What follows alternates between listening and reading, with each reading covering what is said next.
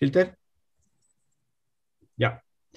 Dear all, thank you uh, for joining us again and welcome to the Our World Heritage 2021 debate and the month really dedicated to the impact of disaster and pandemics on World Heritage sites. I am Humberto Bonomo, Director of Cultural Heritage Center at the Pontificia Universidad Católica de Chile, and with uh, Fernando Perez, Karen Gole, Yolanda Muñoz, and Hilter Gonzalez, I planned the, we have planned, we organized the One World Seminar that bring us profound knowledge accumulated from around the world on how pandemics and natural and social disaster have affected and continue affecting our World Heritage Sites. The speakers of this session will kindly share different case studies, experiences, and lessons, allowing us uh, to obtain a better context related to the recent situation and state of our World Heritage. Throughout this month, we have organized more than uh, 20 sessions and conversation, a collective effort for of more than 100 people, some of which are from the most remote areas of the globe.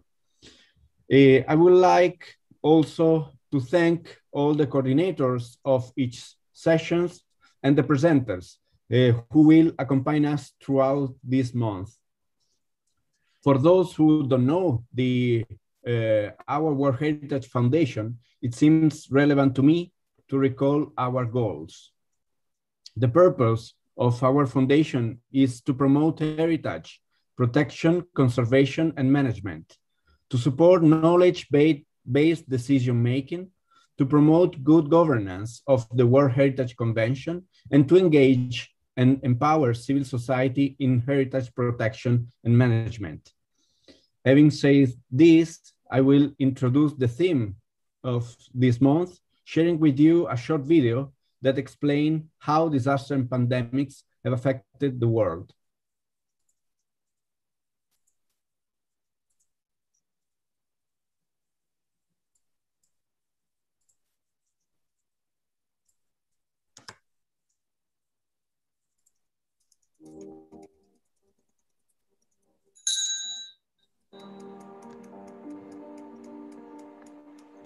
Recent disasters and an actual pandemic have exposed the fragility and vulnerability of our world heritage. These exceptional sites and pieces, which we would like to preserve for all humanity and future generations, do not exist in a segregated world. They belong to our social environment and our daily life. But at the same time, the World Heritage Sites are in danger. They are threatened by natural hazards that attempt against their existence. The pandemic has revealed their fragility and how much the human presence in them is vital and necessary for their survival. How can we protect them and at the same time give them life and new meanings? If we hope for a future for them, we should stop considering them only as beautiful objects or places, merchandise for the tourist industry, and fully integrate them into the social and cultural dynamics of their life. We propose to promote a great discussion around the world on the risks and effects of disasters and pandemics on World Heritage Sites. We invite non governmental organizations, academies, representatives of civil society, and the local governments to participate, to contribute with new proposals for public policies on the conservation and safeguarding of the cultural and natural heritage of humanity.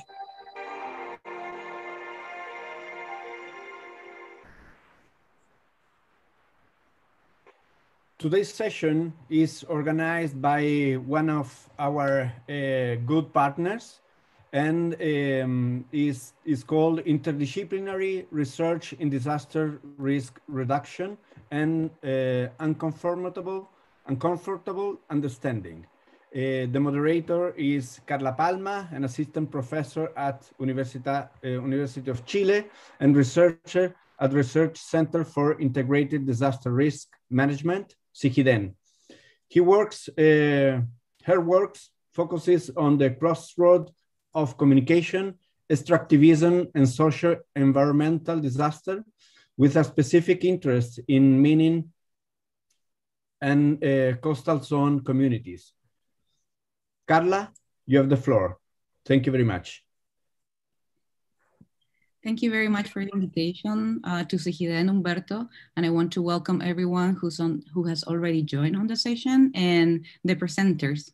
So at CIGIDEN, the Research Center for Integrated Disaster Risk Management, we when we received the invitation, we started to think how what is it what is the thing that we want to put onto the table to talk about disasters and to talk about heritage sites and one of the things that we've been discussing for the last two or three years and working on it is on the relevance and the, the challenges that pose uh, to develop interdisciplinary research work and to work with the community from an interdisciplinarity perspective. And so we thought that it will be interesting to give it a little twist to the discussion on heritage sites and disasters to bring this question of what's the role of interdisciplinarity when we address these issues and we work on the field on this. So um, because consider mostly because one discipline will not be will not suffice for everything that, uh, for all the challenges that people are facing when they're working on these sites. So having this in mind is why how we came with the topic of interdisciplinary researching risk uh, reduction and uncomfortable understanding.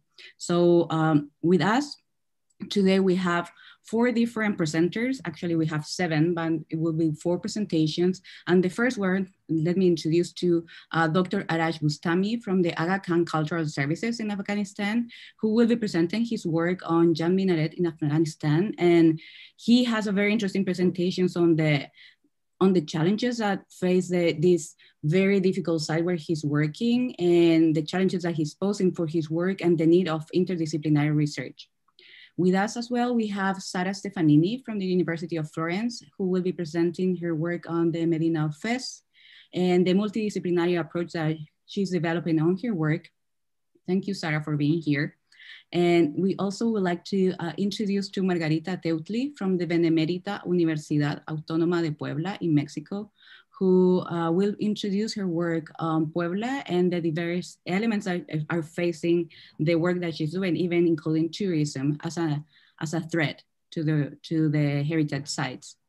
And last but not least, we have uh, Belén de, Mosen, de Meson from the Pontificia Universidad Católica del Perú, who's presenting with uh, Maureen Fordham from UCL Institute for Risk and Disaster Reduction, and Dr. Pablo Vega Centeno, Sara Lafos from Pontificia Universidad Católica de Perú as well. So um, we will have presentations that will last for 15 minutes, and then we're gonna open the floor for questions that we're going to be receiving from uh, the audience. So uh, let us start. Um, Dr. Arash, uh, would you like to go first?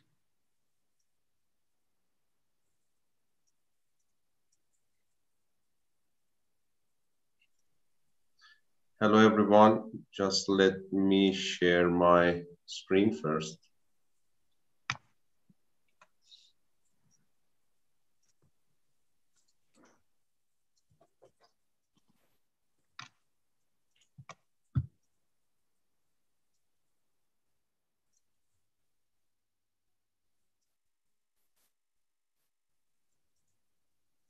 Now you see my screen.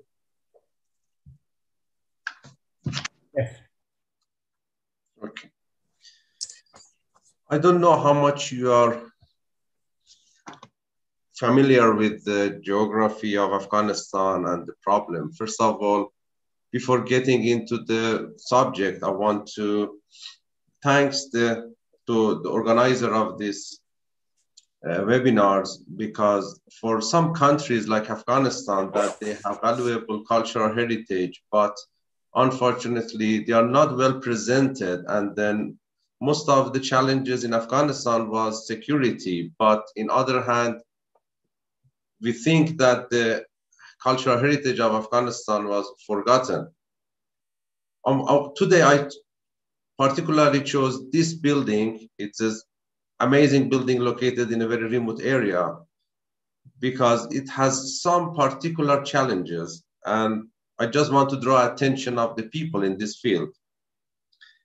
First of all, I want to say that I was not working directly in this project. I was, as a researcher, I was interested about uh, seismology of the area and then particularly this minaret. At this moment, I'm working in another minaret in Herat with the Florence University team.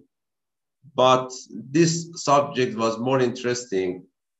The, the things that I'm presenting is a result of the many years of working of Professor Andrea Bruno, Professor Margottini, and many others who really worked in this area. First of all, be familiar with the location. If you look at the Afghanistan map, the location of the Jam Minaret is between Herat and Kabul, is around 260 kilometer uh, east of Herat, somewhere in this location. But the, the minaret positioned in a deep river valley at the junction of the Hari Rud River and its uh, uh, the Jam Rud River. The Jam is Jam Rud is not a big river, but it caused a lot of problem, and then we will talk about this later. This is location located in the Hindu Kush area and the location that uh, is about 1,900 meter above sea level. Probability erected between 100,063 and 1203 AD during the Ghuri dynasty under the Sultan Ghiyasuddin. The amazing monument was always known to the locals living in the nearby villages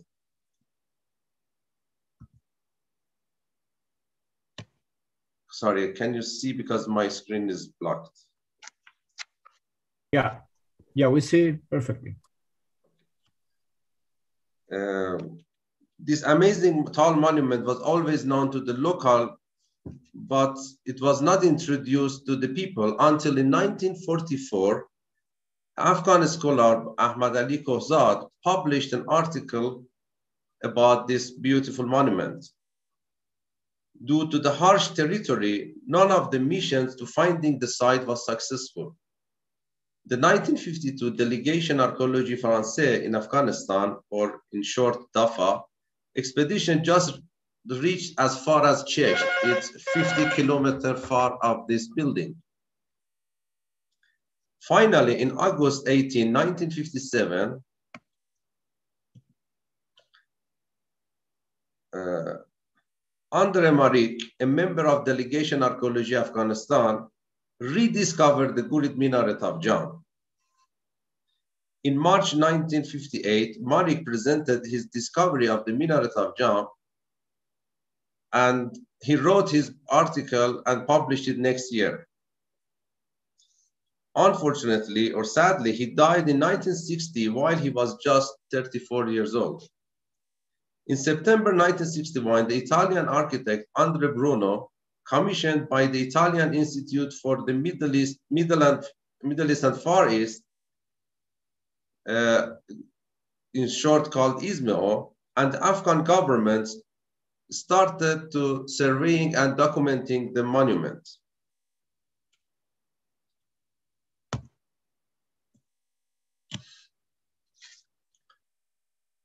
before any intervention, the proper study was needed, but at all the time, access to the site was very challenging. Andre Bruno witnessed the inclination of the minaret towards the Hari Rud River. In August 1963, with the collaboration of the inhabitants of the nearby village, a series of essential conservation took place on the site.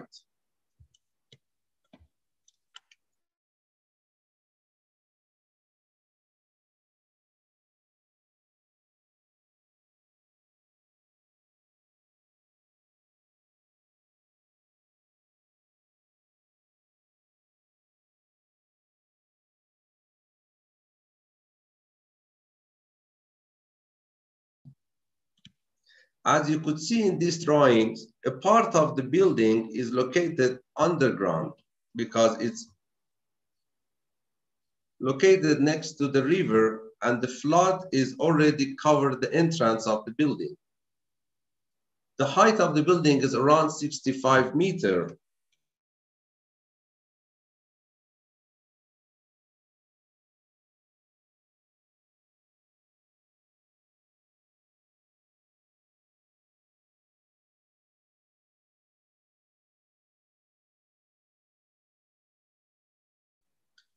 And the building is already made of a baked brick as a main shaft in three parts. And we have two staircase inside.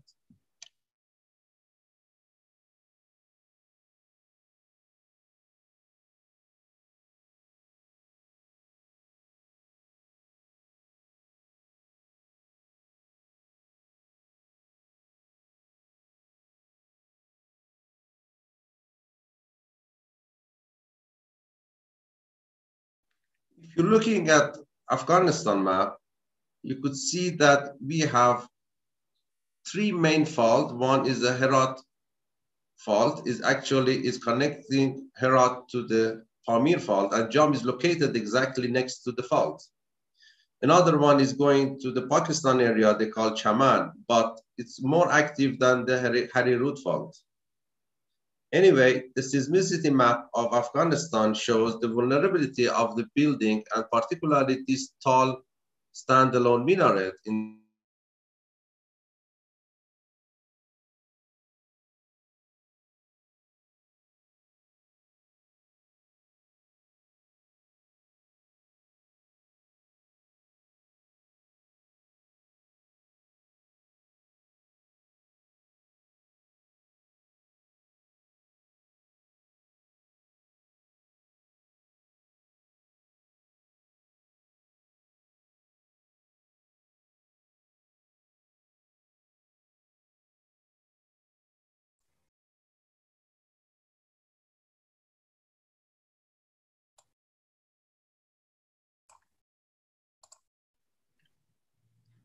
Yeah. I think We that we lost. lost uh, Yeah. Dr. lost. Bustami. Yeah, it came Shall back. we, shall we wait till he can, so he can reconnect or? Yeah, he is he's back. He's back. Harash, we had problem with your connection. Yeah. Now you're back. maybe what we can do is to maybe you can turn off your camera so you only display the presentation and we can hear your voice so maybe that will make it better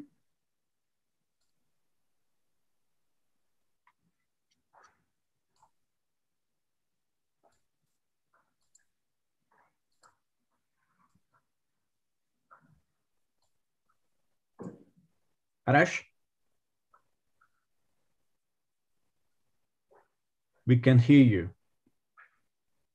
Yeah. Carla, maybe we can we can start with another presentation and give Arash the possibility to to present Uh, uh, again at the end? Yeah. Or maybe to have to, yeah to find be, a better connection because it's not working. i just want to know if Arash can hear us so he knows what we're gonna do how we're gonna proceed.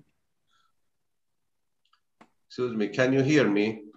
now we can hear you. Maybe maybe let's give it another try now that you uh turned off your camera so we can we can give it I another switched try off my camera. I don't know if you can see me again.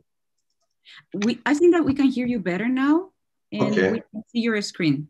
So if you wanna restart your presentation, From the beginning, not from the beginning, but from when you were at least at what the last thing that I could hear was how tall the building was, and then is when we started to have problems. okay.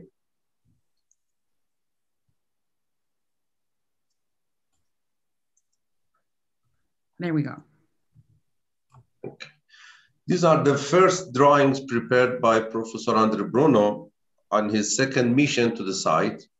As you could see, the building is built uh, in three area. The diameter in the base is around eight meter. The height of the building is 65 meter.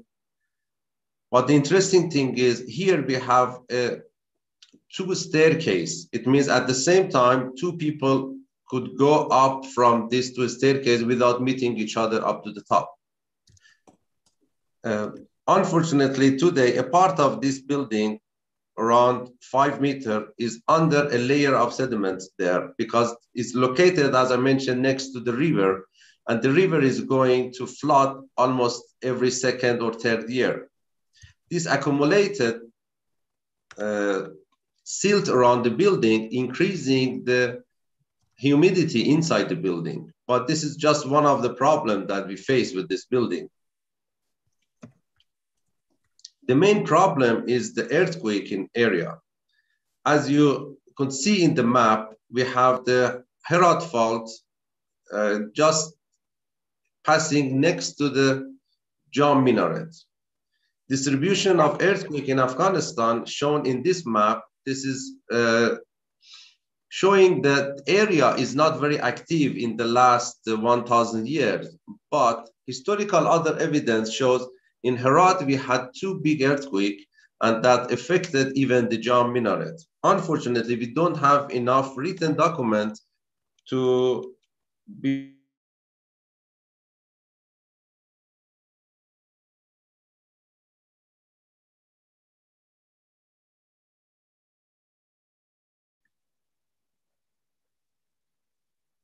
So we lost Arash again. Um, is the uniform hazard, the spectra obtained at the JAM. And uh, this is for the written period of 72 to 975 years. The, air, the period that we think that we had earthquake in the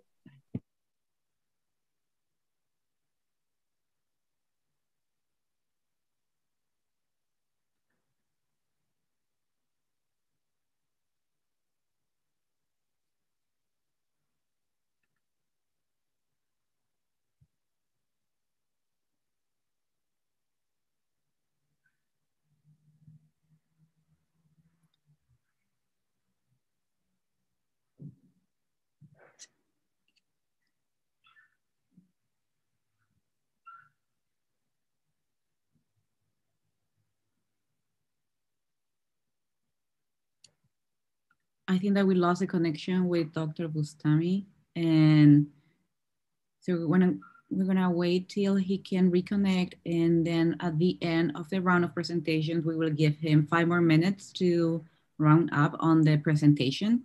So we can continue with the other presenters while he can find a better internet connection from Afghanistan. So um, sorry, I think I already disconnected again. If you give yeah. me if I put me at the end, then I can come back. Maybe I will find another solution. Okay, thank you very much. Maybe you can tell us without having, we're gonna have to reduce the, the broadband that you need. Maybe you can just tell us without the presentation or maybe to send the presentation to someone, to me, or we can display that on the screen maybe. Um, okay, I will, okay? I will try to reconnect again. You continue, I will try to join you again in another place. Okay. I have to move. Thank you. Okay, so um, to continue, we're gonna ask uh, Dr. Sara Stefanini from the University of Florence if she can go with her presentation. Um, thank you everyone who has joined already the, the session. We have people saying hi from Mexico, from the UK, from Germany, so we welcome you. Um, we will come back to the, with the presentation of Arash later, and we will continue now with the work of Sara Stefanini. So you have the floor, and thank you very much for being here and accepting our invitation. Thank you for this invitation, this opportunity. Can you see my presentation? Yeah, perfectly. Okay, thank you very much. Um, here I will present my PhD research, which describes uh, an approach for seismic vulnerability assessment using a multidisciplinary approach. In particular, the procedure takes into account building typologies of Islamic cities, uh, which are aggregate patio houses. Uh, this method has been applied to the case study of uh, Fes Medina in Morocco, UNESCO World Heritage Site since uh, 1981. Uh, the work motivation was given by the increasing concern about the threats endangering Maghreb's architectural heritage. Uh, this heritage is threatened by the loss of traditional knowledge, the uncritical use of incompatible technolo technological cultures, and natural hazards such as earthquakes. Uh, Fes Medina is an emblematic example of these damaging uh, dynamics. I have divided my talk into the following main areas. Firstly, I'm going to talk about the conservation context and the social context. Uh, secondly, I will present the results of the studies and investigations carried out to deepen the knowledge of the case study. Uh, then I will present the proposed seismic vulnerability assessment method, and uh, after that, the implementation in the Medina of Fez. Uh, then I will look at the conclusion referring to the application of the method. Uh, I have used a multidisciplinary approach considering both uh, humanistic sociological topics and technical scientific topics. Uh, in the end, uh, this approach was used to imagine a rehabilitation strategy that is coherent with the context, uh, with the dynamics taking place and the vulnerability issues. Uh, so let's start with the context. Uh, the um, theme of conservation in Morocco was influenced by the French colonial period. Uh, before this period, conservation was not conceived as a concept in, in itself. It was not separated from the usual construction and maintenance activities of the buildings. The French legislature represented a total change with new materials, new techniques, and a new lifestyle. Uh, the legacy of the French protectorate was uh, dual cities. There were the new modern cities and the medinas separated from each other. In this situation, the medinas were abandoned and they were not adapted to contemporary needs. Uh, one of the results of this uh, cultural shock is the conflict between tradition and modernity. Uh, the consequences of this conflict are already underway. Uh, during the research, uh, we carried out some interviews with locals, and this conflict emerged from that. Uh, the changed contemporary lifestyle does not combine well with the urban conformation of the Medina, and this is generally felt and experienced by locals. Uh, the built environment and its use reflect these changes with also some critical issues uh, the interviews also highlighted how the recovery of the architectural heritage and the social sphere are strictly, strictly connected. An emblematic example of that is the perception of, uh, uh, sorry, excuse okay, uh, is the perception of seismic risk. I don't know, okay. Uh, the interviews show that the religious sphere and the cultural level are connected to the seismic risk perception. Fez in particular is considered, considered a city protected by Allah and the patron saint Moulay Idris. Uh, this causes many people to deem it impossible for an earthquake uh, to occur or have occurred in the past. Uh, the seismic, uh, the city seismic chronology shows uh, otherwise. The city of Fez was largely destroyed following the seismic events of 1522, 1624, and 1755. Uh, furthermore, referring to seismic events in recent years, earthquakes like Agadir 1 and Alhucemas have shown that uh, in Morocco, it's important not to underestimate the consequences on the population and the build-up area. Uh, the effects of seismic events uh, points out the extreme building vulnerability despite uh, moderate seismicity.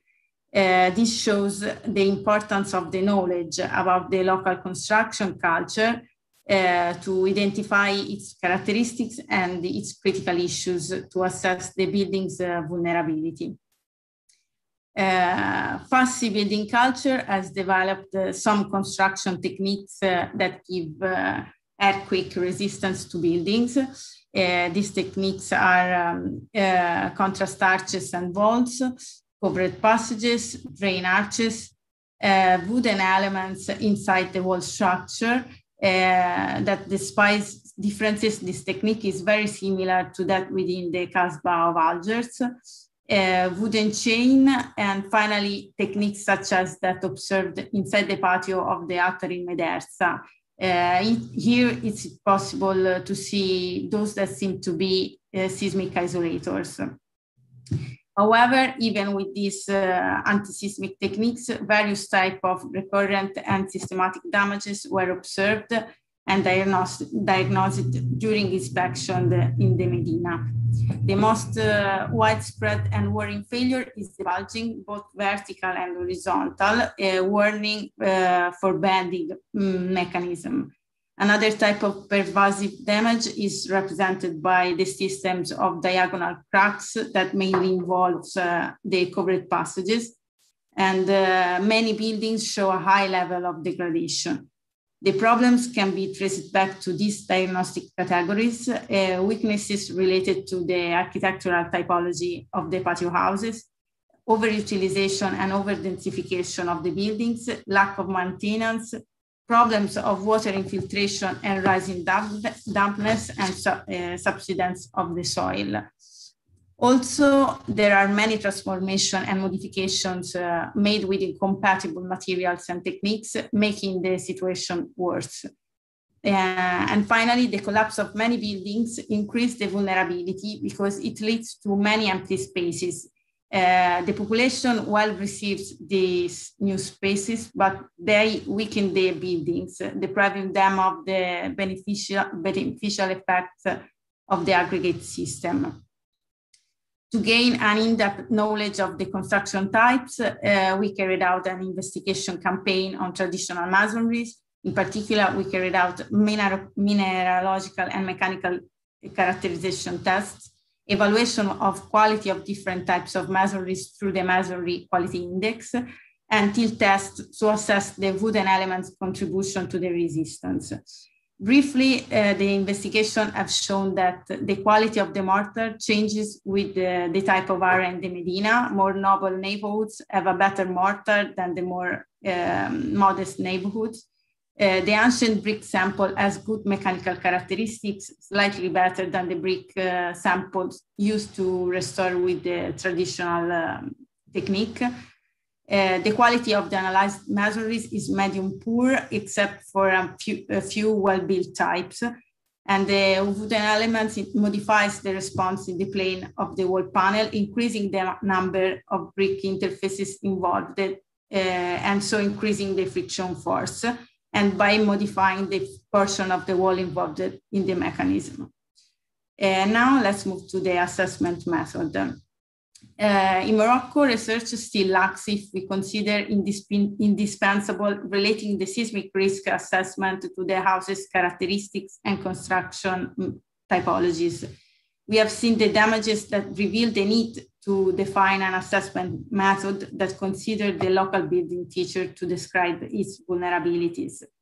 The proposed uh, assessment method is based on the GNDT second level approach uh, proposed by the Italian National Group of Earthquake Defense.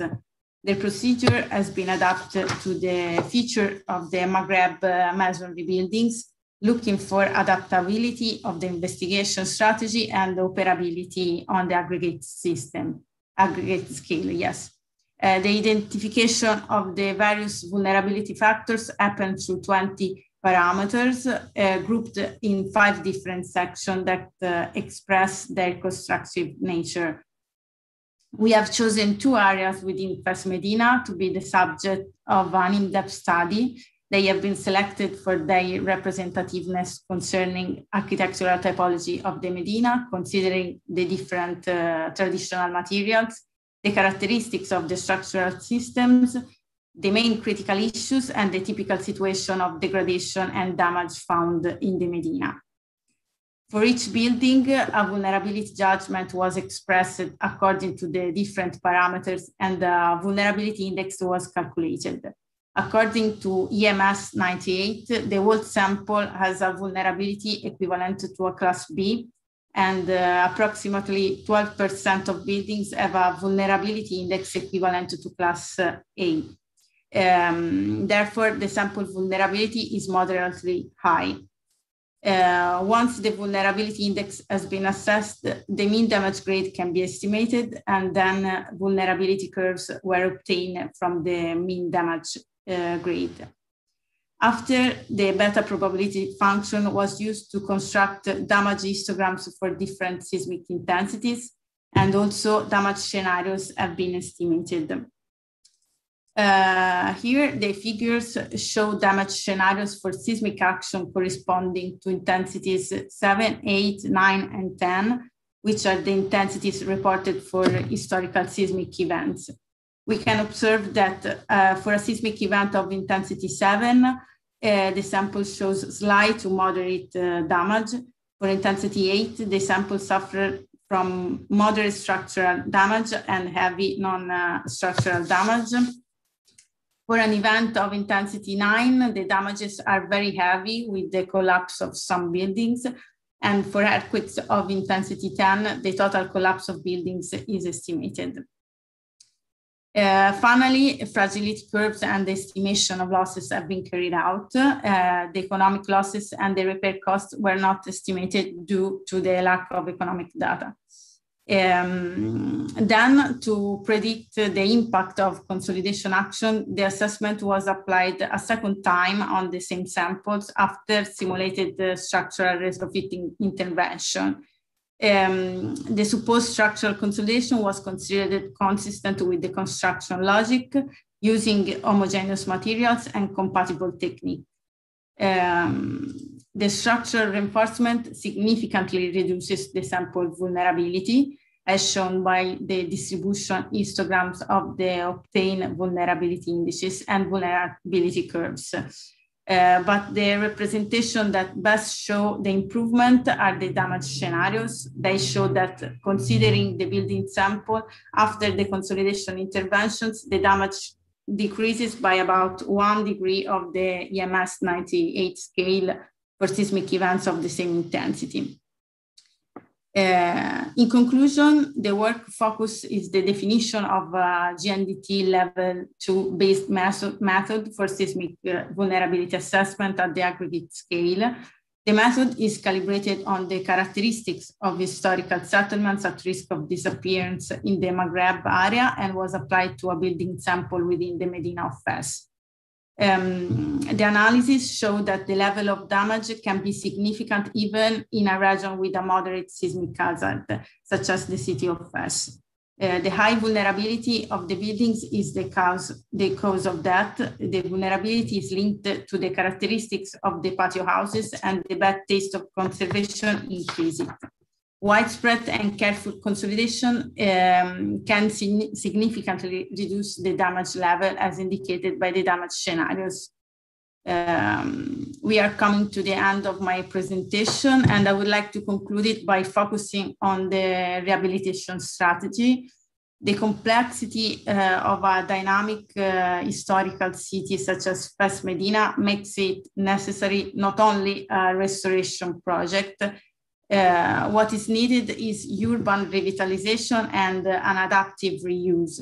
We need to find a balance between, uh, on one side, the reinterpretation of tradition, considering modern needs, and on the other side, the subordination of contemporary development processes to a general idea of cultural and urban continuity.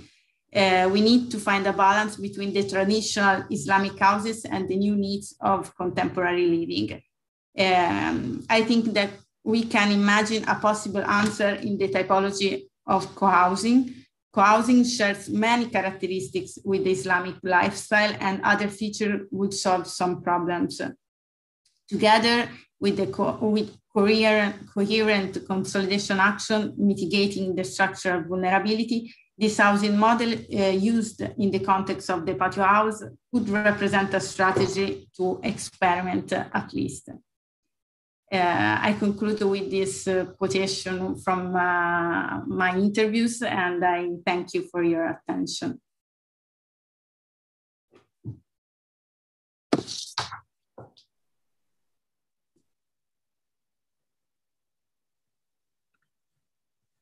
Thank you very much for your presentation, Sarah. Uh, I have already many questions for you that I'm going to keep for the end of the rounds of presentations. And I would like to introduce Dr. Margarita Teutli from the Benemérita Universidad Autónoma de Puebla, who will be sharing her work on Puebla. And Margarita. Este, sí, estoy lista para comenzar. Voy a apagar la cámara. I'm going to turn off my camera. And share the screen. Okay, thank you.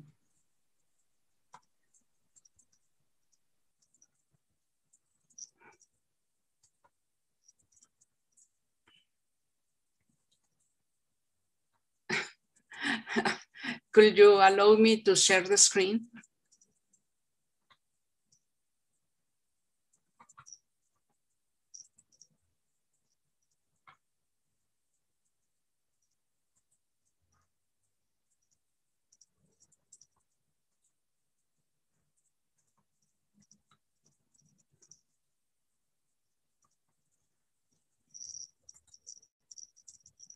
Oh, well, this is my presentation, Puebla Heritage City endangered by natural and anthropogenic activities.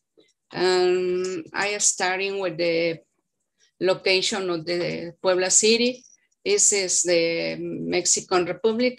This is the state of Puebla, and in this place is the Puebla City. So the historical center of Puebla in a map, you can see is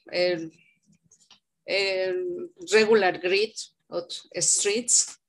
And the historic center covers this region that is about Little Red. Um, information about Puebla, we are above 20,000 meters above sea level. We had a very good weather well-defined seasons for spring, summer, fall, and winter. And the city has about 498 all. And the orientation is good. And we had a lot of buildings from the 16th and 17th century. And this is an aerial view of the city. You can see it's, it's retaining the historical grid and the new buildings are located outside of the historical center. And we had an active volcano nearby, what has changed a lot the amount of the par particles in the air. So we are having now strong problems of contamination um, helped by the emissions of the volcano. And Puebla has suffered several earthquakes with magnitude about above seven. These are the main one, and you can see that there is a period return, something like 20 to 30 years. And I'm going to talk to you about the last two, the 1999 and the 2017 because from those one I had some more information. And the 1999 uh, damage were catastrophic for a lot of places and religious buildings. And methodology to assess the damage has improved with the years. And in 2017, we had estimated that we had 563 religious buildings with damage and people who, re, who recovered the data made a classification of the century and the number of buildings affected. And also they established some kind of uh, degree of affectation and define like low affectation, medium affectation, and high affectation. The most buildings has low affectation, but the damage are very critical. And this is the time that mm, almost four years ago, um, we haven't had uh, restored all the, all the buildings. Uh, you can see here, this is a picture from the 1999 uh, earthquake and these are from the 2017. Um, catastrophic for the damage in mortars, in bowls, domes, and uh, the towers, bell towers were damaged uh, in many, many, many buildings. And people has uh, institutions to care about the, the problems. And we had uh, some at national level, the Anthropology and History Institute, the National Center for Disaster Prevention, uh, also the Army and Navy has uh, uh, plans to help people mainly. And at the state level, we had the universities and the organizations and professionals uh, boards and Puebla, after the saints of the 1999 and the, they created something called the Board of Puebla Historical Center and the Citizen Forum. And what we had learned from the earthquakes. In 1999, we had lack of plans for maintenance and mitigation. And in, two, in the period between, uh, we start to formulate some actions. In preventions, we I think we had a lot of improvement because we had uh, the information of buildings, susceptibility to be damaged. The in the case of the historic buildings, the inventory of the staff and maintenance plans for each building about characterized like urgent, regular, and long term. In the intervention protocols to at the time of the event, we had some role assignment and we had some advance in the handling of emergency protocols for damage inventory and debris inventory that is, was applied very successfully in the 2017 earthquake. But we are having a lot of troubles still is in the interventions projects because uh, people taking care, uh, see, for instance, this is a, the map uh, elaborated by the Citizen Forum and they had cataloged the buildings and established that there were 17 polygons to care about with similarities in the constructions and the kind of buildings that are included. But the people taking the intervention projects, we are dealing with people that still thinks that it must be one or the other option, but no, they, they are not considering like an integrated part.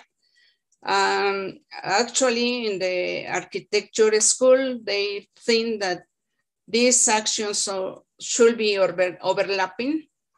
So you must care at the same time for replacement, repairing, and rehabilitated.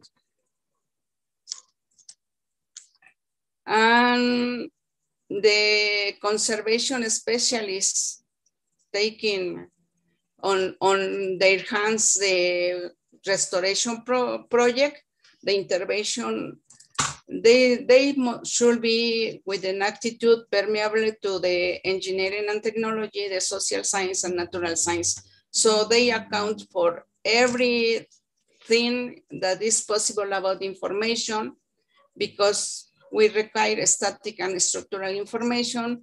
We need environmental information and anthropogenic because uh, Puebla is, it has serious problems with the tourism. Uh, I can affirm that from the 2010 uh, now to 2021, we had raised the tourism 300%. You see the lot of people, uh, many vehicles in the historic center. And these are causing uh, several problems because the tourists require service and people providing them and also the amount of waste has increased and the resource consumption is also raised. Uh, Puebla has a little scarcity of um, drinking water. Um, with the increase in tourism, you must provide good service, but the exploitation of the groundwater is taking the, the resources down. And for instance, we did a work about finding urban heat island points in the historic center.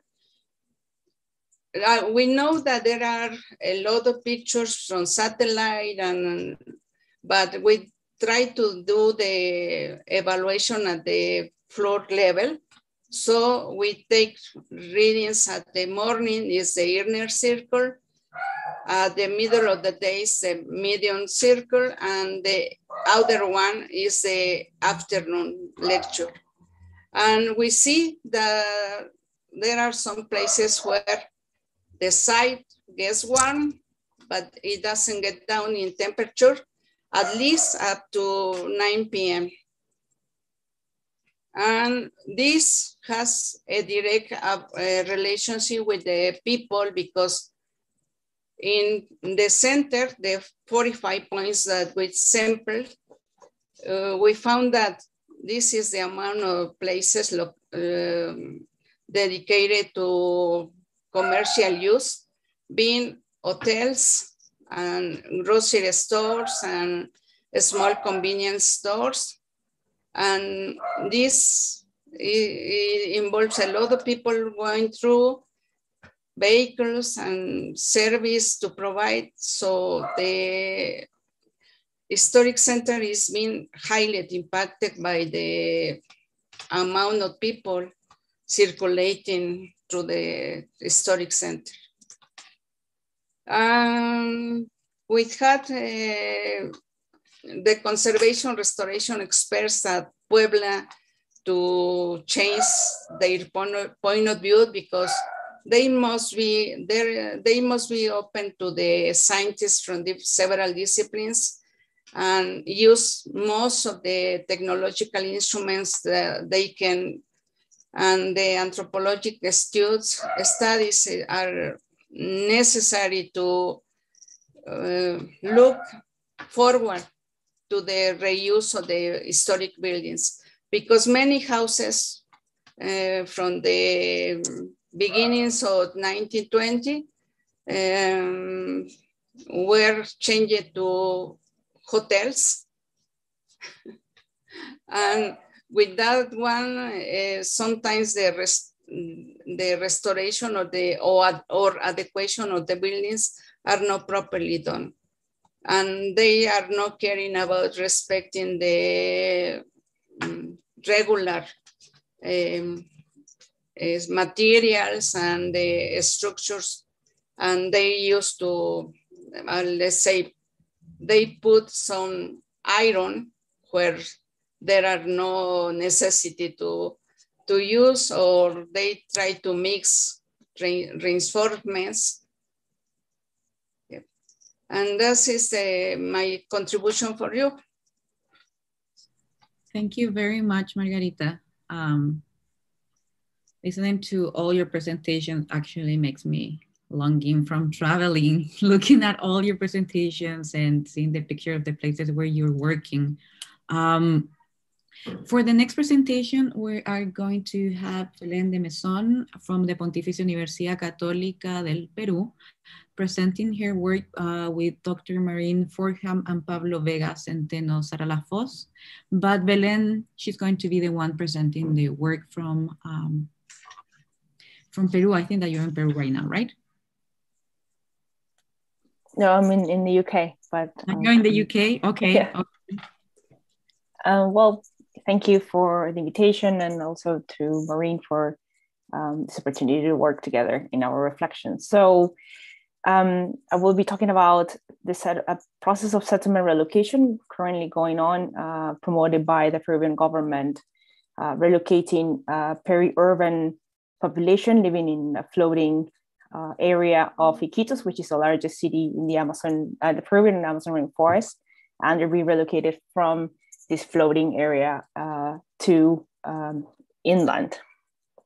But at first, uh, we wanted to discuss what is uh, heritage in Peru, and like a typical approach would be to think about buildings from the Inca Empire, like Machu Picchu. And when we're talking about people, we understand it as dances, folkloric dances, and like ways of dressing, for instance. But um, we wanted to emphasize that other part of heritage, which is the way we inhabit and recognize our territory um, and how we transform it and um, form a relationship with it.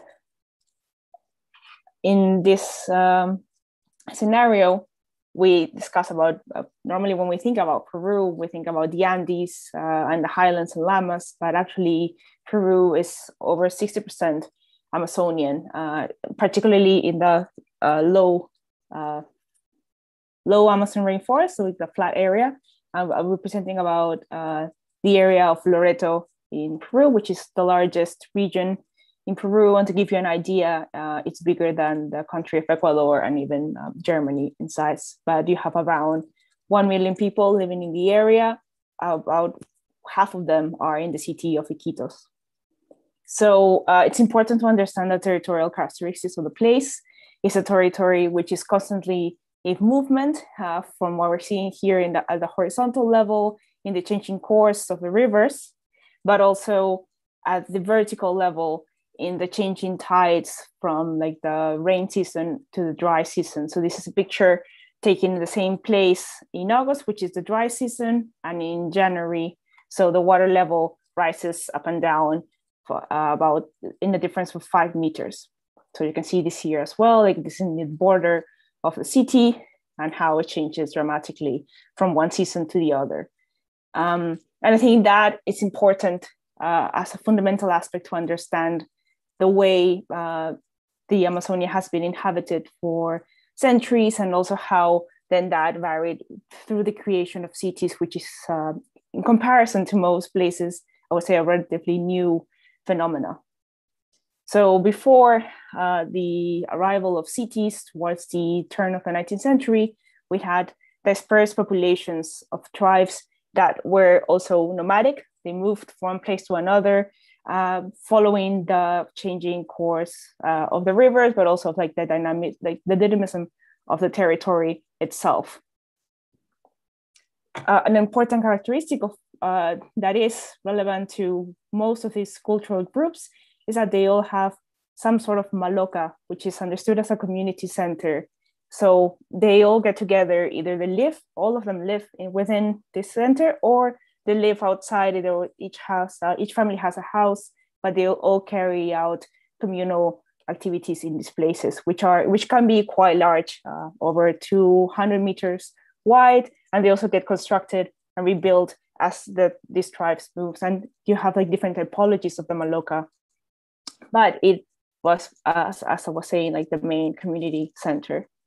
Um, and it's also really important to understand that the level of symbolic relationship that exists between people and the river is not only a place where you get your food or a modus transportation um, it also like the minute you're born you learn how to swim and like all the um, spiritual connections that exist between the water and the people. So i think that is important to understand and what we're going to see uh, later on as these populations are being displaced from uh, and away from the water and this is a map that shows uh, like the territories of different tribes. Uh, it's important here to emphasize the connection between those territories in which these tribes moved around, but also like the connection between those territories and the river itself.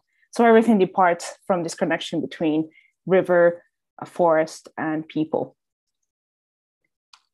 And uh, towards the end of the, towards the turn of the 19th century, we see the appearance of cities. Uh, Iquitos appeared as a protection site, like in, promoted by the Peruvian government to protect the boundaries between Peru, Brazil, and Colombia. And this also grew much larger during the rubber boom uh, that was the beginnings of the 20th century. And here you can see uh, the breaking of a particular way of inhabiting and the appearance of something that's uh, more Western or colonial in the sense that you have the grid and you have this uh, idea of the city becoming a port city. Um, as you can see here, it's very much quadricular. And in this area, I don't know if you can see my mouse, uh, but this is area the area where uh, the population that we're discussing uh, inhabited throughout the time. Like it's the first shanty town um, in the Amazonian, uh, in the Peruvian Amazonian. So with the rubber boom, you had a complete disruption of previous ways of living. Uh, so people were taken away from the malocas and from the community groups and displaced into reduction uh, sites. So you get to see the last instances of slavery, even though it was already prohibited, since these were seen as being like outside citizenship, citizenship outside the state. Uh, they were regarded as less than uh, human beings. But in this conflicting uh, scenario, you also have the rapid expansion of cities like Iquitos with a very, um, I would say, influence from European cities and city models that basically uh, were imposed on a territory uh, that, as we have seen, does not necessarily follow uh, sedentary uh, movements and occupations.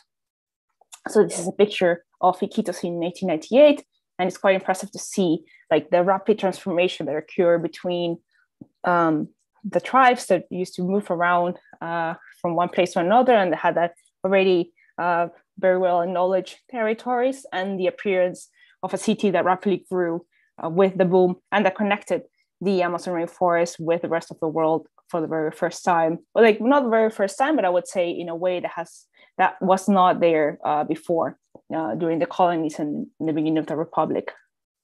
And this is Iquitos today, so you can see like this confluence of um, Amazonian architecture and way of living, um, European city models, and also like the idea of of modernity arriving through like high uh, rise buildings and um, anten- antennas and all of this. And as I was saying, like this is the city of Iquitos towards like I would say 1940s. This picture is undated, and you can see here the appearance of Belen, which is the first shanty town. It uh, emerged as the place where the slaves from the rubber boom escaped the reduction sites that were located throughout the territory and came um, and, and, and settled next to the city. And from the very beginning, it was a settlement that again opposed this idea of uh, European city making and rescued uh, traditional construction techniques and ways of inhabiting that uh, included floating houses, but also houses built on silt and the use of wood. Uh, so we're seeing here is like a very live heritage that constantly changes and evolves, but at the same time, uh, it's results to be appropriate for um, the area and is also like dynamic flows. And we are seeing here a picture of Belen nowadays. Uh, the houses and the architecture remains the same in this, um, but you start seeing the appearance of satellite dishes and electricity. So it's like this confluence of flows, uh, but through the preservation of a particular way of, of living. And this is a photograph of Belen nowadays. It's a lot more dense, uh, but the connection between the population and the river pretty much remains. It's also important to notice that these are all basically multi-sited households.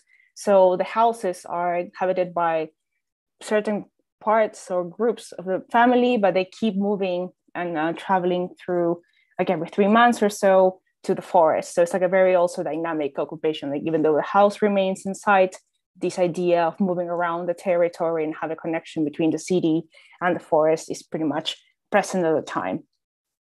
And uh, well, Peru is one of the only, I would say, uh, that I know of two countries in South America that have preventive resettlement. is Peru and Colombia.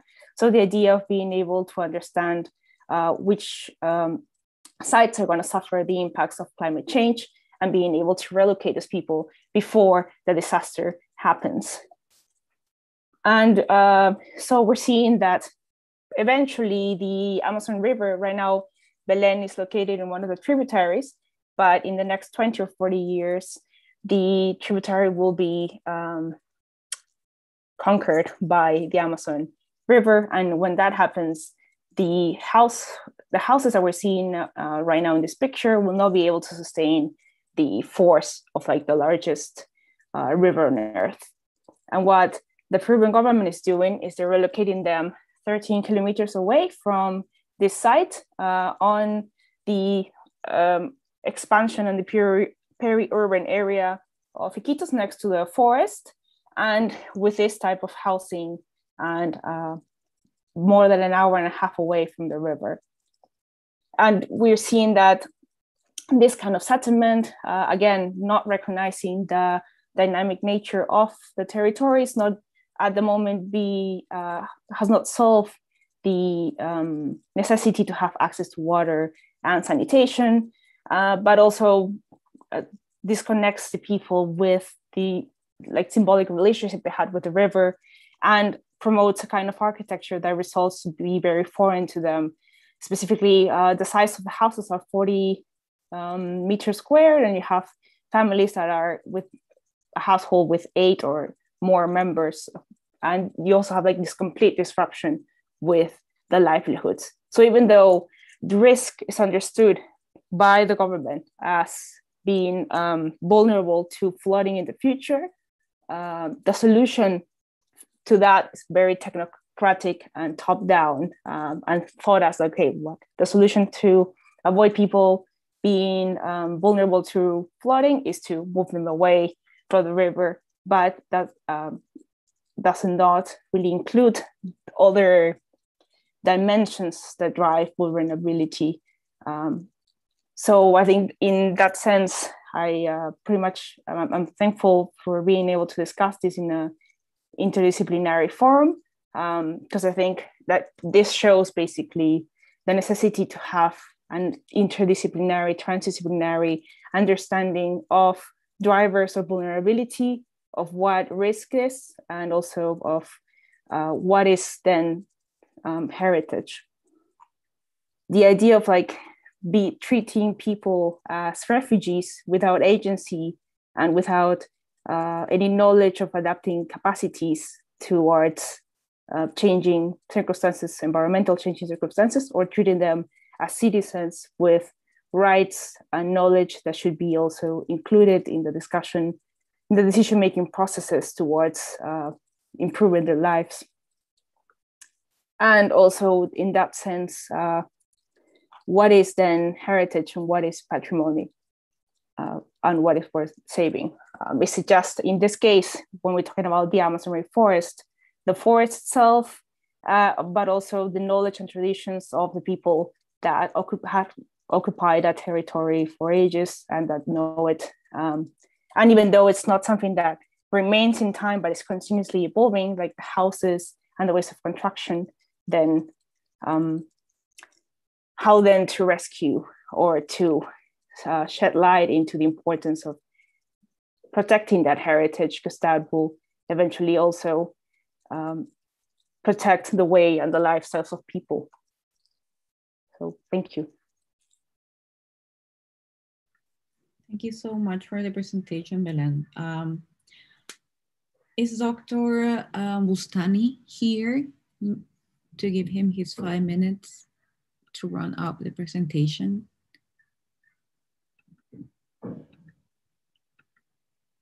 I think that he continue having internet access difficulties. So, um, well, first of all, thank you everyone who joined the present who joined the panel while we were um, having the presentations. And I would like to ask all the presenters to turn over the cameras. Um, so I don't know if people have questions, but I will as Catherine says on the chat, if everyone have any question, please leave it there. But I would like to ask you a first question because I was listening to your presentations and one of the one of the keywords that it came to my mind was about this idea of movement because all of you somehow are facing different kind of movement the movement produced by earthquakes, the movement produced by pollution, the movements of people. And I was wondering how do you address this and and the other other factors that you have to face when you are developing your work when it comes to having to plan an interdisciplinary work. So my first question here will be on how do you um, facing these different issues that you have on your work, how do you uh, get into a interdisciplinary conversation when you are facing similar issues but from different perspectives? How hard it is for you to establish a conversation that involves all the different factors that you face on your work?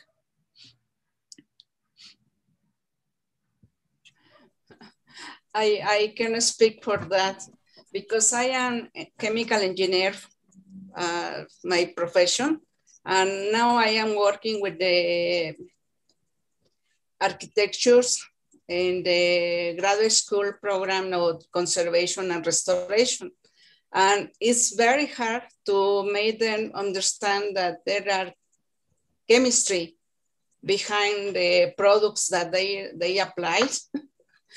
so I had to show them uh, physically how the paint applies over the surface made an impermeable cover so they can trust what is happening. And I'm, I am claiming the, a lot about the, they must care about the chemistry of the all materials to apply new materials over them. So it, it is hard that they accept uh, they, their will to do some changes in, the, in their minds in, in using new products, but without affecting the, the chemistry of the old uh, um, masonry or uh, bricks or something like that. So somehow it is hard for you to have a conversation about the impacts of what people are doing from a chemistry perspective, right? Yes, right. Uh, as for instance, uh, we did a, evaluation of the damage for rainfall in the Cathedral of Puebla, but I am chemist, so I collect the samples and analyze what happened, what cations and anions were dissolved, etc. And we found very uh, important uh, information because the most impacted by rainfall, uh, it was the north side, while the less impacted was the south side but the south side is uh, affected by the pollution of the volcano because the particles go to deposit and the humidity of the environment makes dissolving the salts and penetrate the stone. mm. We, we did a, a complete sampling and taking advantage that the bell tower face the four cardinal points. so we can discriminate north, south, south, east, and west uh, problems with the rainfall only. Mm. But uh, for architects, they say, no, no, this is not important. it will be really interesting to be in one of those meetings when you are discussing uh, how to look at the building I don't know, Sarah, maybe you want to, you, I think that I, I saw your face like you have something to say about it. Yes, yes. Um, I, as an architect, I think that uh, this profession teach to manage uh, different kind of problems uh, from uh, structural problems, technological problems, uh, sociological problems, uh, architecture problems, and uh, the um, since the university uh, architects uh, needs to find the, um, uh, sensibility to manage every kind of uh, problems uh, and put them inside a project. And it's difficult because you have to go in depth in, in the analysis and in specific problems but uh, you have to be able to at the end or in the middle of the process process to uh, to do a step uh, a general uh, and see a, a, general view of the project to takes in, to take into account every kind of kind of issues because I think that uh, the multidisciplinarity and the interdisciplinarity, especially in the conservation and the rehabilitation of heritage, is uh, fundamental. Because uh, uh heritage comes from uh, our our the people before us and the life inside the buildings, inside the heritage, uh, uh, took to us the, these beautiful buildings. And we have to consider the life inside the buildings. Uh, not on we don't we don't i think that we don't have to consider only technical uh, uh, views but also anthropological and sociological uh, issues mm. Mario Santana on the comment said, uh, I think architects should not take the lead with communities. We have anthropologists and sociologists that work on this better than us. I, and I know that we all have different um, specialties, but the question is how how to make them work together, how to let space for others who know better maybe or are more equipped to conduct some of the process and how to make this uh, like a more complex process in which everyone's doing what they know the best, but at the same time have this in conversation with each other. Um, I don't know if Belen want to chip in the conversation here. Um, yes. Uh, well, also disclaimer: I, I am an architect. yeah, but uh, we work in a very interdisciplinary uh, team. But I would say, uh, going back to Mario's comment, um, this idea of like anthropologists and sociologists working better with the communities than architects um, i tend to disagree with that. I think it, is, it needs to be a, a, communal work in progress but what we bring as architecture is also this idea of like understanding the, the spatial qualities that are sometimes not spoken and understood. Like there's this level of like talking and commenting with them but like also observing how they live how the settlement is distributed their movement patterns.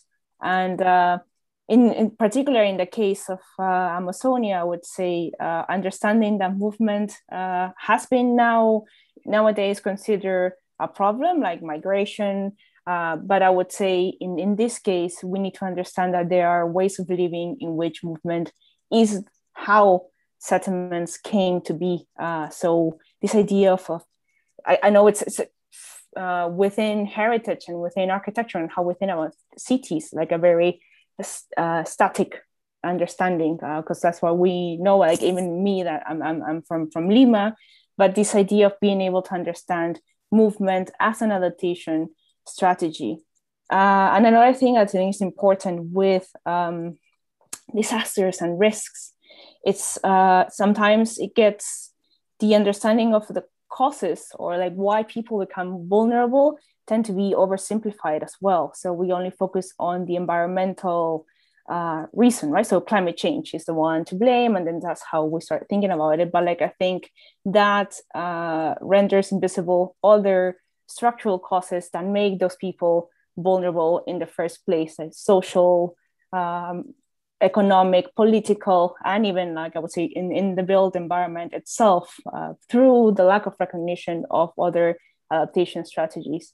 So I think in that sense, uh, heritage becomes uh, a goal or an understanding of a process of how certain lifestyles came to be, but also how can they be uh, protected uh, over time, but also improved, understanding that we cannot also have purely a romantic idea uh, of that lifestyle, but that how it needs to adapt to this ever-changing climate and not only ever-changing, but like in, in increasingly uh, disruptive climate climatic conditions. So if I'm hearing well, what you're saying like actually everyone should be able to engage with the communities and to from whatever discipline you are working from. I think so. Yes, but I think it's also like the the understanding that uh, in many cases in policies and that sometimes in, even with our own disciplines in architecture or others um, those voices or those capacities and adaptation strategies that are already in place are not recognized or put into the table so i think it's also a matter of understanding that there should be a more horizontal relationship in decision making processes mm. And I, I, have some questions here that uh, are related to the same. One of them is from Stefan Vogel, and he says, we hear that buildings use and tourism are human-related factors that affect heritage sites. How are these dimensions addressed in restoration projects in such a way that it works for everyone? And then there is another question from Fernanda Quiroz who says, who, how can you protect the people in the Amazons from a disaster and at the same time preserve their culture and heritage? So I think that both questions are addressing these issues, how, how to do this, addressing people's uh, concerns, involving people in the process and at the same, like doing the best for the heritage sites and doing the best for the people. And I think that some of you were talking, I think it was you, Belen, right? What is heritage at the end? So I don't know, I open the floor here for um, Belen, Sara, and Margarita.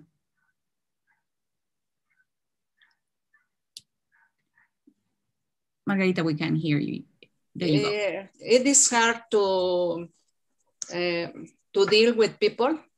For instance, in the in the 2017 earthquake, uh, the institutions called the universities for people to support in the evaluation of damage, etc. But students doesn't have the, the formation to work in a place. So we had the actions like someone that suggests that every every debris should be removed without caring it is an important piece of the building or uh, an artistic expression. so for to get organized the, the students to support the actions was very, very, very difficult to, to engage everyone. And also another of another situation was that the students immediately start to going into the construction without uh, be, without assessing if there is a risk of more uh, falling pieces or uh, in unstable structures. And so, so the responsible say, I had to care for the building and for the students, not to do mistakes in the in the action. Mm. I know that also. Uh, eh, I, I think it should be something like protocols to to deal with. Mm. So you're saying it's about besides interdisciplinarity, it has to do with the planning and the, at the moment of the response and how people get involved in the process of restoration and preservation. Um, I know that Pablo also joined us and he's working with uh, Belen in the same project. Maybe he wants to share some thoughts about what we're discussing now? Well, I don't want to put you on the spot I, because also Maureen is here. I, I don't know if, if someone wants to take on the on the conversation. Yes, uh, thank you very much. Uh, uh, sorry, I, I have uh, I have courses, so the, it was uh, the problem for me uh, at the beginning. Well, the discussion is interesting. I think the dimension of if uh, preserve the culture or uh, how to protect from disaster, well, uh, first, if uh, we have to learn that Amazonian culture has lived without ha lived centuries with with the phenomenal urban phen territorial phenomenon. We and there was not the problem. The problem begins when uh, we have the urban settlements with uh, urban patterns that came with uh, an Occidental culture. So, uh, and there is a, a, another form to make the relationship with the, uh, the territory, no? So I think I, it's in the opposite, I think we must, the Amazonian culture, it's not only a, um, an objective to preserve, but we must learn about uh, uh, how they make a relationships with that territory because it's the only way I think to make uh, uh, um, um to uh, make uh, better urban patterns in Amazonian because now it's a real problem but uh, we are the real problem, not the Amazonian cultures. So uh, it's for me it's also the, uh, the notion of uh, heritage. It's uh, have a, a, sort of urgence for how we are going to make uh, urban development, for example, in the next in the next decades, for example. No. Maureen is saying on the chat, it is also a question of what we value and how we decide what is of value and who decide who's of value, what is of value, Helen is saying here. So uh, maybe the panel of our representation should have incur, um, interdisciplinary research and the challenges of working with local communities and making everyone's opinions of value here. So it's not about just the perspective of the architects or the perspective of the people working from the chemistry, but how do we involve people in the process as well when we are already having all these issues between disciplines when we're thinking of heritage and preservations of sites? Um, i don't know if sarah want to chip in the conversation here.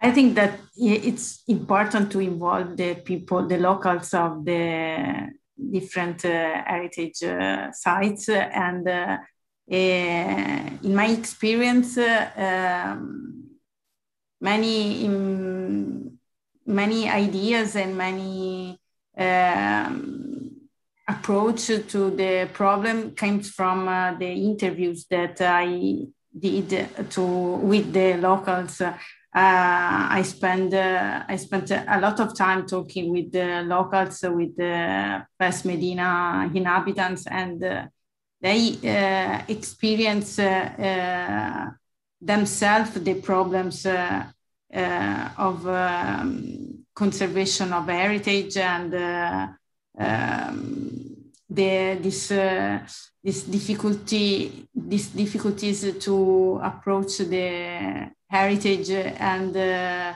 with uh, our contemporary uh, lifestyle and technique and problems. So I think that talking with people it's crucial. Is it, it, it uh, talking with them, it's uh, it's surprising sometimes because uh, they can give you opinions that you didn't uh, expect uh, or know uh, before the the interview. So takes into account their experience. I think should be improved in interdisciplinary project.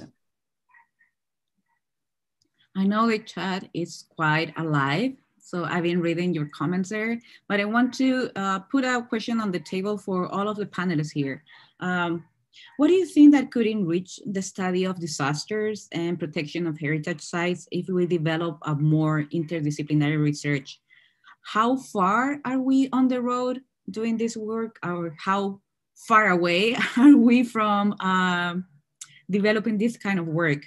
Uh, I would like to hear because you have experience of working in interdisciplinary from interdisciplinary perspective, from including people like you were saying on the chat, like we work with um, sociologists, we work with architects, we work with people from different fields. So from your experience, what brings to the table that adds to the conversation, but not just the conversation, but the work that people do on heritage sites? Uh, for me, the most important is that the leader of the project should be a conciliant people. If the people gets that everyone get along with the others, that will be a very successful project. Uh, uh, the people with good uh, human skills to deal with everybody and they leave everybody satisfied and no eh, is starting problems. Because sometimes the disciplines are hard. And mm-hmm. one say that I, I, I don't get how those guys don't, don't understand this. But the, the conciliant people should be the leader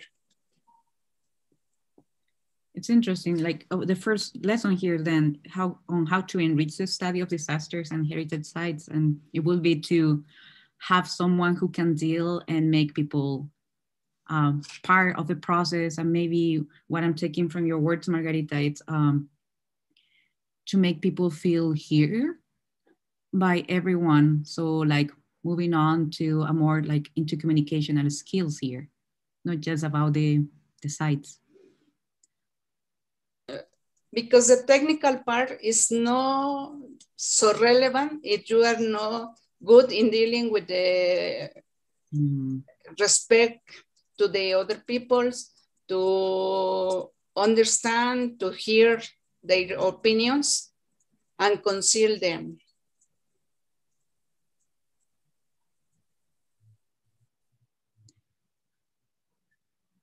I saw some of you nodding. maybe Pablo, maybe Belen. Yes. Well, uh, I, uh, I would emphasize uh, the importance of uh, share an approach. For, for me, it's uh, essential because uh, in, an inter, in an interdisciplinary way, we learn each other it's not uh, the position that one is a specialist for something and the other for another thing. We make a team. So in a team, we have to share some uh, approach. And in this uh, way, we, uh, uh, we learn to uh, discover another way to think the, and the, the think about how the how to work. So uh, for me, it's that uh, the most important thing. We are the uh, uh, uh so the approach we uh, is a construction of a group.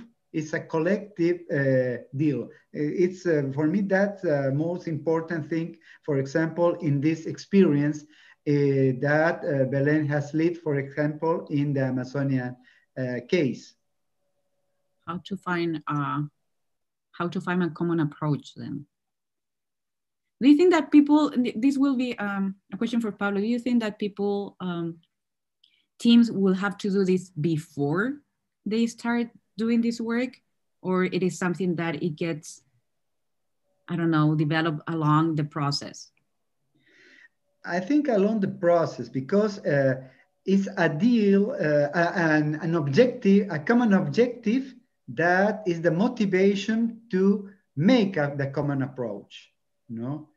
Because, uh, for example, before this uh, research, you know, I have my works in, uh, in uh, as sociologist, Belen as architect, uh, but with a common objective, we have to make an, a common approach. And I think I have learned, uh, I, I, have learned uh, many things with this exchange. No, so and this uh, this make more fruitful my now I think um, my, my, form of, uh, of working would be different because uh, I there is not only the thing, things like a specialist, but I think also the integration of uh, of common of common approach that is uh, uh, the the thing I I most uh, appreciate from this exchange. As, as Belen is saying here on the chat, uh, from interdisciplinarity to transdisciplinarity, the co-creation of knowledge that goes beyond the sum of different disciplines. And I guess that we can only reach transdisciplinarity by trying to be interdisciplinary first. And then, as you say, like there is something that comes out of the process of working together that then you have something in common. But before that, it's just people from different disciplines, like Margarita, trying to explain what's the chemistry of the product that they're using and how that could, uh, I don't know, make things worse.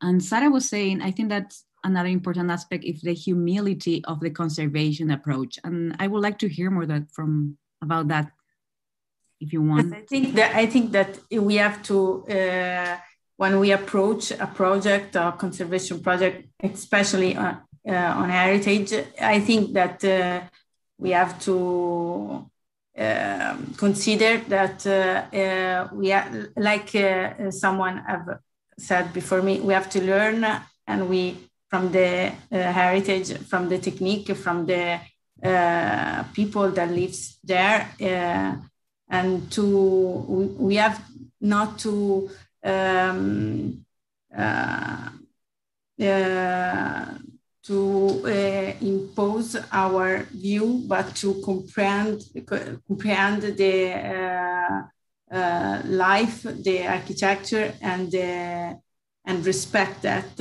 Uh, not to um, use uh, um, incompatible or uh, um, different kind of um, materials and uh, systems. Uh, and uh, I think that the in the people, the team, the interdisciplinary team that works in this project has to share this view of uh, respect and uh, humility uh, for the heritage that they are going to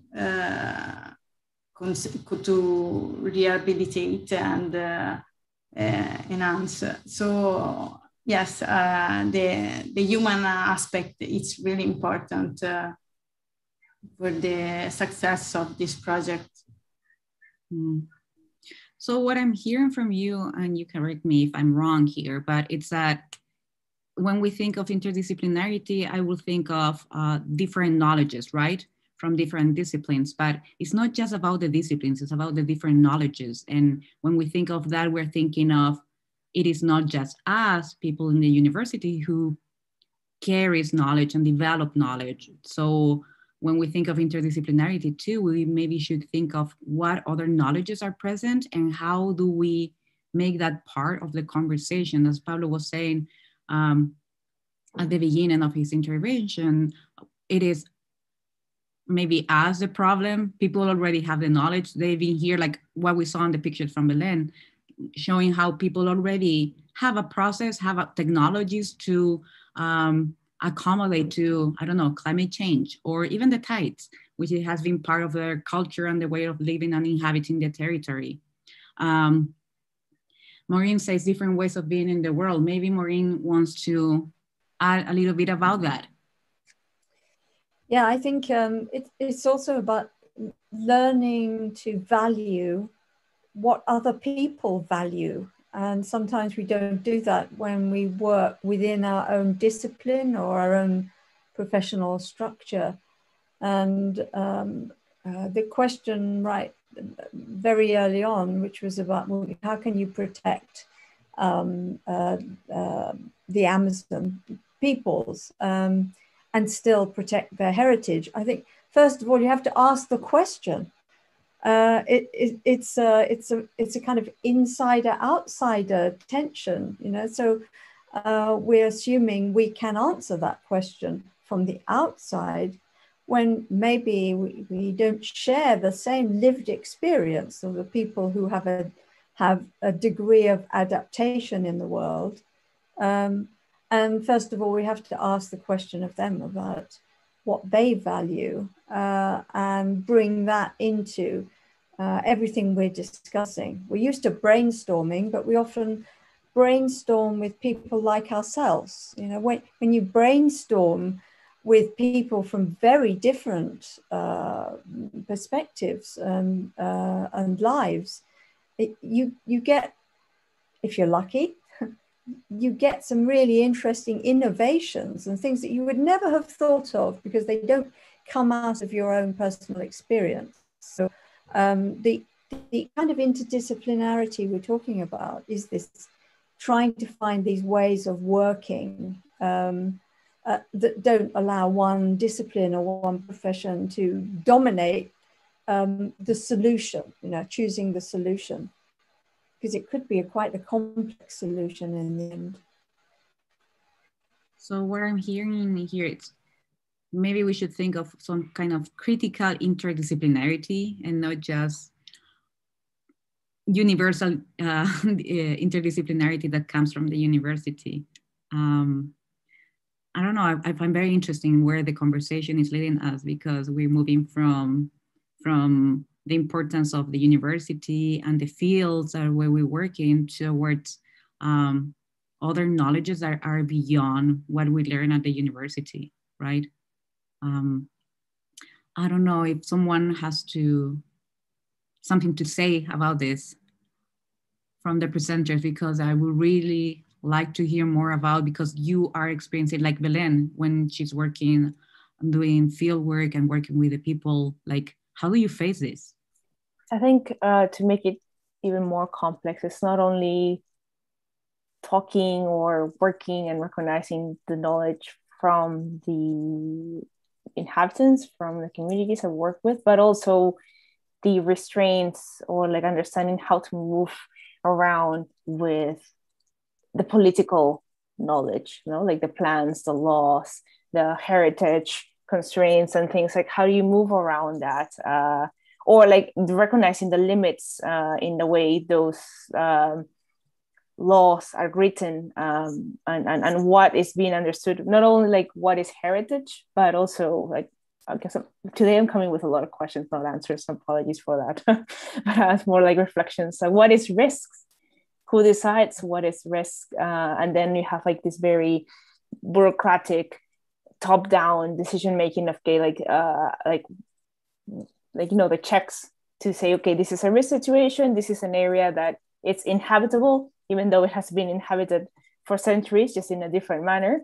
And therefore, the way to solve that is to move these people around. So, like, there's also it's a very I, that would say like that's why we also put like such an emphasis on the process of, of co-production of knowledge itself, because you have not only like multiple disciplines discussing this and like ways to approach it, different kinds of knowledge from the citizens and the people that inhabit a certain area, but also like all these politics uh, within the nation state, within the local government, but also like international laws, like on heritage, on planning and city making, and on what on disaster risk reduction. So it's, it's quite uh, like how you find a common ground with all these flows of knowledge and understanding of the world. Mm adding from that, it's what Margarita was saying earlier, right? What are some of the things that we should consider when we do this kind of work? And she said, have someone who knows how to deal with people and to like listen to everyone and incorporate people into a conversation. And now you're adding a different layer here, which is about the politics, like not just the, it's a law, but at the same time, it's the politics of like the internal politics of uh, local communities and at the same time of the state of the I don't know, the government. So it's, it's these different ways of being in the world and taken from different dimensions.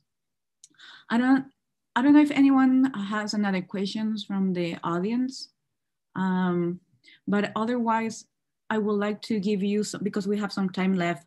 If you want to add something that you think that you must put into conversation after this very interesting discussion, I'll open the floor for the presenters and, and Pablo and Maureen too, uh, if you want to add something to the conversation here.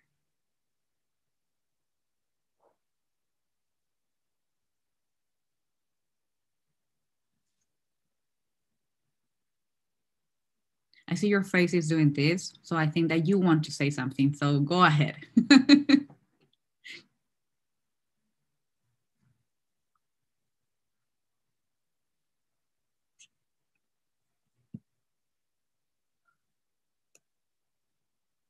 well, if you don't want, I, I thought that Pablo wanted to say something because he was nodding. Well, you you la you want well. Uh, I was thinking, not uh, I'm not sure, uh, but uh, I think oh, those this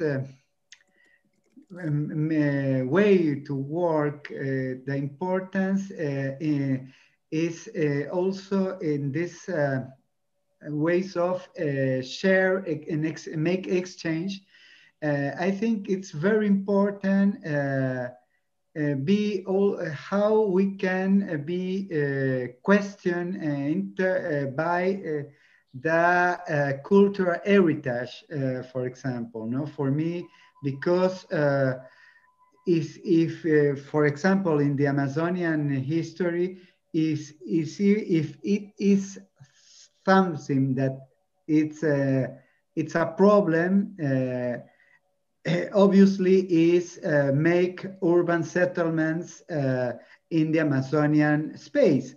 That's uh, uh, uh, it's only a century of, of urban history in the Amazonian. And so we cannot make the question of how cultural communities can survive or or how, uh, why is the importance of his heritage, but also is uh, now is the, uh, the moment that this heritage, this way of living in the Amazonian territory can interpel, make question of how uh, finally the urban patterns can uh, make, uh, can be questioned for the 21st century because uh, it's obviously we if we have problems now in the global sustainability of, um, for example for the Amazonian is uh, because we are making a standard a pattern of occupation that uh, makes problems no? And uh, I think it's uh, the scenario of the discussion and, and it's a discussion that uh, needs all the, uh, the disciplines approach to together share and build something new. Mm. So Maureen, maybe you want to add something to run out the, the conversation? Um, it's got very complex, hasn't it? mm. Life is complex. Um, I don't know what more I can, I can uh, add to this particular thread, really. Uh, for, for me, it's usually around how people make decisions about what should be valued, what should be regarded as heritage, and what should not. And the issue, you know, you began, Carla, this issue of movement. And I think movement, you know, something that's not static, in place, not a fixed building, um, but yet has tremendous value for the way people people live is uh, this form of cultural heritage.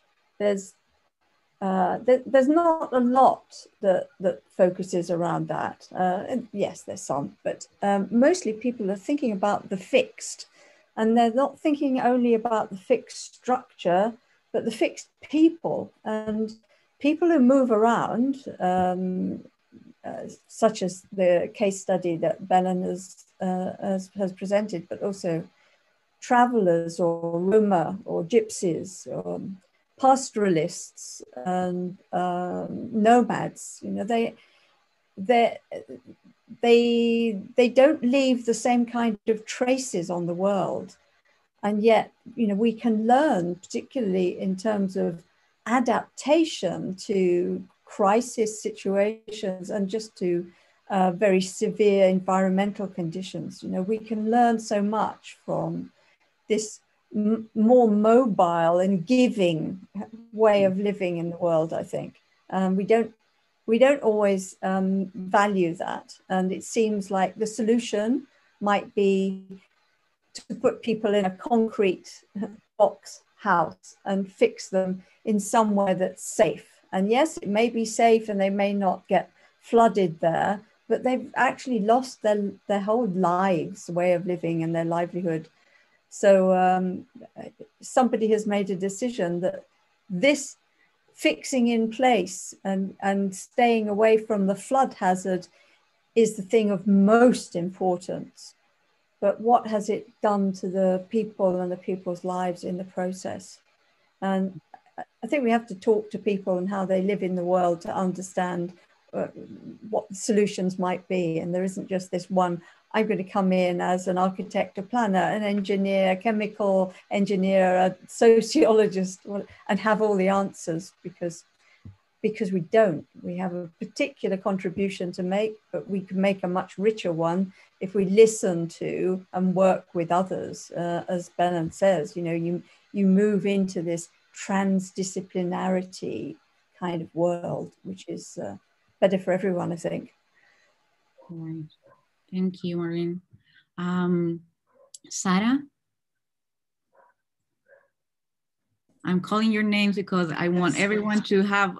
I was thinking, I was thinking that uh, Maureen uh, intervention, uh, it's uh, a perfect ending for this uh, for this uh, talking because I think she has.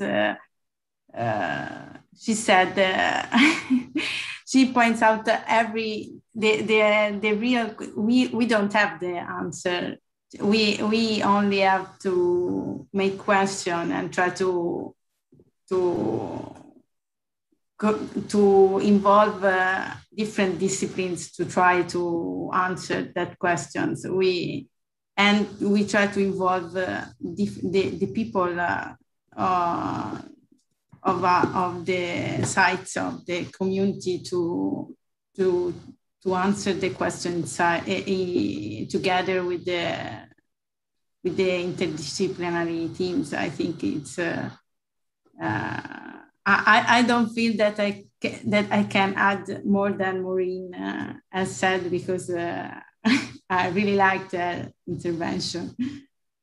And I really like the idea of movement because we're mm, thinking of yes. to things and to put them as they yes. supposed to be. But what about the like natural flow of things and how we yes. address that? Um, yes. Belen, do you have any final words for us here? Uh, not really. I think I've spoken enough. Uh, but yes, movement and migration as a way of being um, and understanding. I think like actually the if you see throughout history uh, in, in humanity, the exception is stability. Like our settlements, are the way that we move, that that's like the, the condition. So I think we need to, in, in law, in, in planning, and, and and in our understanding, we need to like go back to um, understanding that that is an adaptation strategy. Um, Thank you, Margarita.